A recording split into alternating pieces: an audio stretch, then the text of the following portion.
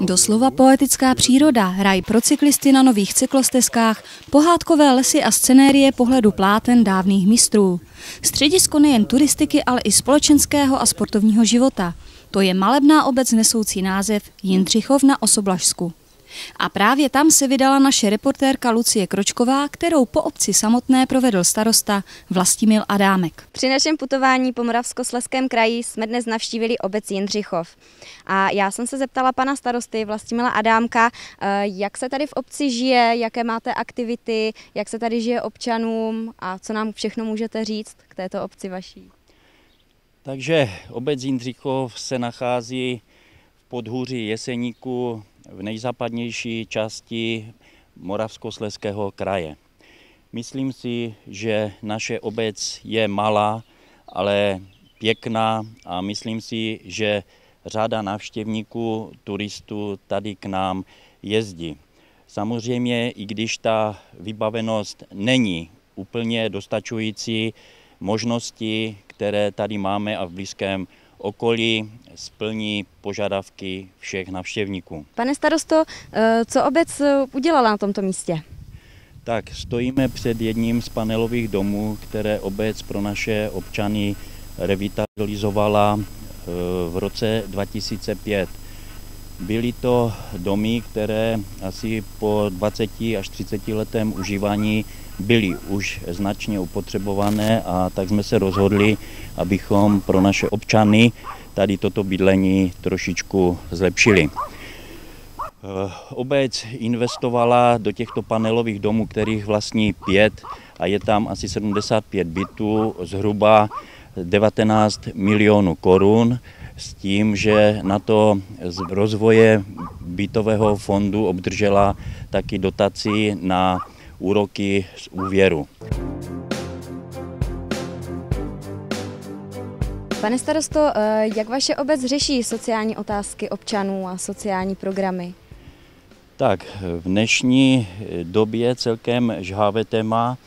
Já bych chtěl říct, že vycházíme našim spoluobčanům vstříc eh, ve dvou směrech. Jednak řešíme bydlení našich seniorů, čehož důkazem je nově vybudovaný dům s pečovatelskou službou, kde je 13 bytů pro e, klienty a jeden byt správcovský, který v podstatě slouží pro údržbu a provoz celého zařízení.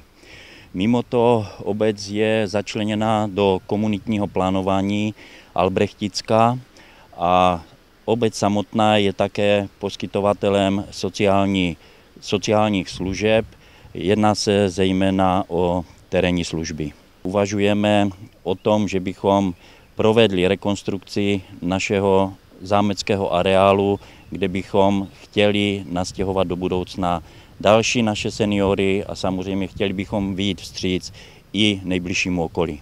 Děkuji.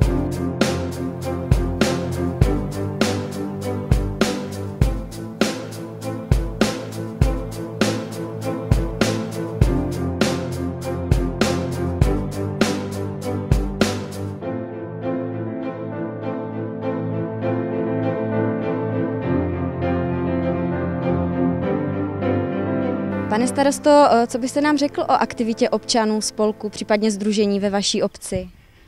Tak, naši občané se v řadě případů zapojují do různých aktivit a práce organizací, které, které v naší obci fungují. Jednou z nich je i jednotka sboru dobrovolných hasičů, která eh, má 16 členů a v podstatě zajišťuje hotovost 24 hodin denně pro celý osoblažský výběžek. Výjíždějí v průběhu celého roku, můžu říct, ke 30 až 40 zásahům všeho druhu a jsou tím samozřejmě zapojeni do integrovaného zachranného systému.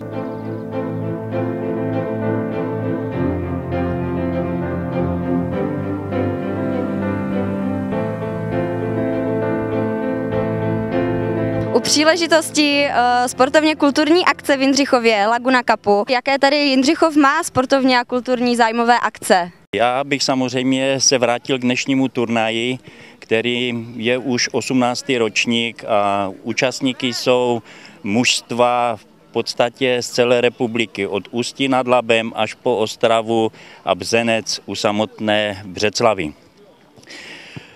Je to každoročně mezinárodní turnaj. Další aktivity obce a všech společenských organizací se odvíjí od spolupráce školy a obce, našich hasičů, tělovýchovné jednoty a dalších organizací.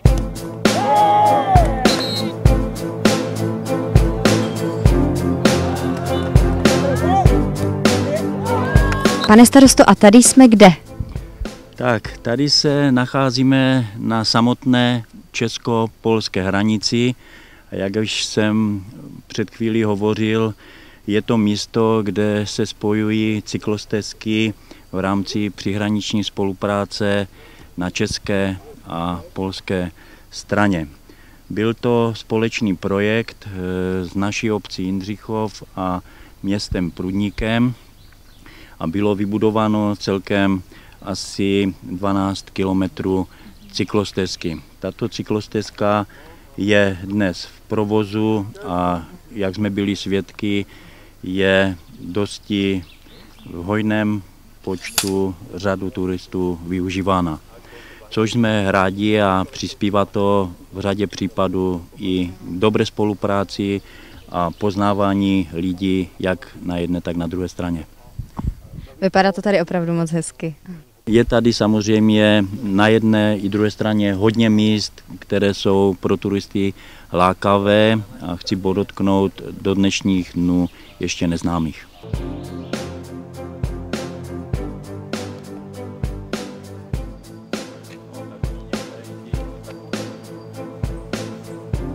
A když se příště přijedeme podívat, kam nás pozvete?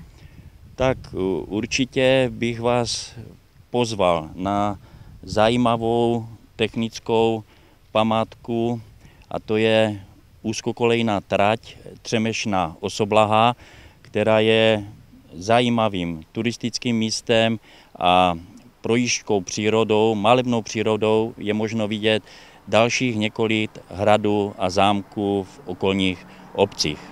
Samozřejmě, aby návštěvníci nebyli unavení, mohou se i ve vagonech tohoto vláčku s parní lokomotivou občerstvit. Takže vás srdečně zvu. Určitě se budeme těšit.